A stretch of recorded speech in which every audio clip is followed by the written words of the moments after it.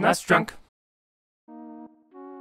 A while back, I took a look at a Nintendo 64 game called Forsaken 64. Now, just from the name, maybe only a few of you remember that game, but this cover, I got tons of comments saying that, yep, I remember that, I always wondered what that game actually was. There's lots of other similar examples out there, one in particular is for the game Brutal Paws of Fury. This game was released for Sega CD, Amiga, Sega Genesis, and Super Nintendo. Looking at the game footage here, you may be thinking, huh, this doesn't look very familiar. Well, does this magazine ad look familiar? I'm willing to bet it does because publisher GameTek absolutely blitzed gaming magazines and comic books with this ad for months and months. And hey, to the ad's credit, it makes the game look like it'd be pretty cool. But as you can see going back to the footage here, there is a slight disconnect between the artwork on the ad and the box art, and the game itself. It kind of reminds me of when Atari 2600 game cartridges needed all this lush artwork to help fill in the blanks of your imagination, because when you played the game itself, eh, it usually didn't match up to say the least.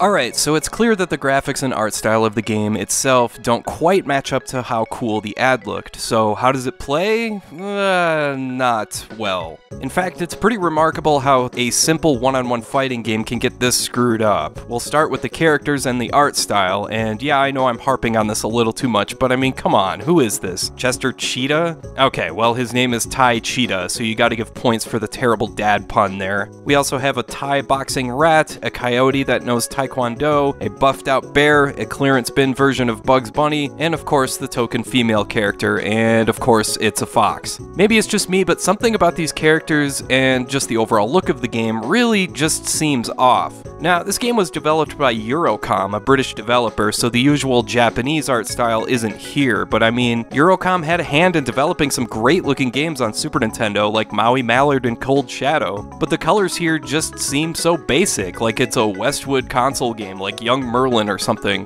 I mean, compared to other fighting games at the time, you had such interesting character artwork with great settings and backgrounds, everything from the usual stuff like Street Fighter 2 and Mortal Kombat, but also games like Primal Rage, Power Rangers Fighting Edition, and Ninja Turtles Tournament Fighters. The characters and settings in Brutal Paws of Fury, by comparison, are just plain and kinda generic. There really isn't anything here visually that draws me in.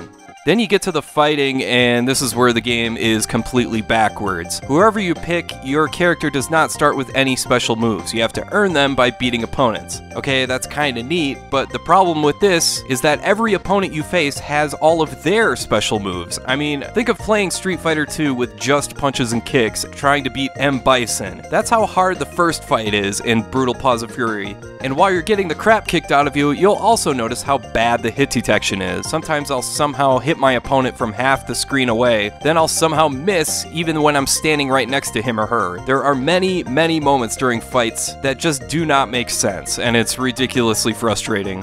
Even worse is that once you do learn a special move, it is not easy to pull off. It's one of those things where you're not just fighting your opponent, you're fighting the game and your controller to try and pull this crap off. Granted, some of the special moves are awesome once you see them, like the lion's guitar attack, but I sure as heck can't pull it off myself, at least not consistently. I should mention that this game does have a password system that allows you to play this game with the character's special moves already unlocked, but unfortunately the passwords look like this. Ugh. I wish I had better things to say about this game. It seems like a good idea on paper, and hey, there's some good stuff here and there, like being able to watch a replay after each fight, and I love the detailed stats after each fight. That's always a nice touch, but unfortunately, Brutal Paws of Fury is just boring, no matter how you slice it. If you go it alone against the computer in story mode, the difficulty is just so absurd that you're likely to just say screw this and play a better fighting game. If you play against a second player, you'll likely find the special moves absurdly convoluted and difficult to pull off that you're left with just punches and kicks, which gets boring real quick. So again, it's like, screw that, let's play Killer Instinct or Turtles Tournament Fighters, or hell, even Clay Fighter games are more fun than this. Brutal of Fury is brutal, alright, brutally boring and brutally difficult. Avoid this game. Alright, I want to thank you for watching, and I hope you have a great rest of your day.